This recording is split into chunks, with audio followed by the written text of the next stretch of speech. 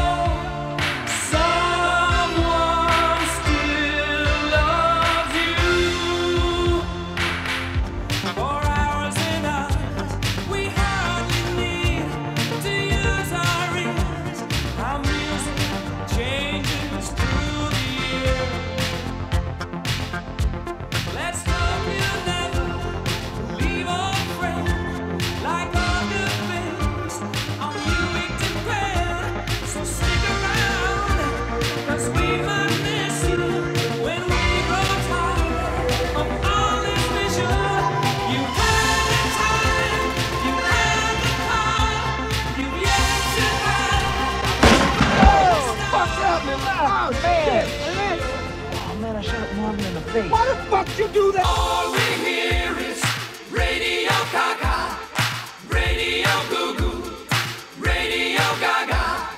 All we hear is Radio Gaga, Radio Goo Goo, Radio Gaga.